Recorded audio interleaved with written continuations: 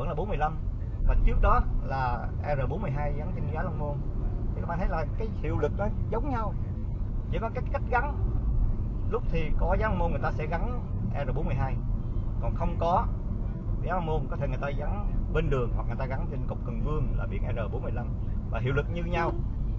Cho nên à, cái này là cái để chứng minh rõ là 415 và 42 có hiệu lực xử phạt như nhau đây, các bạn thấy trước mặt cũng trên đường này, bên tay phải.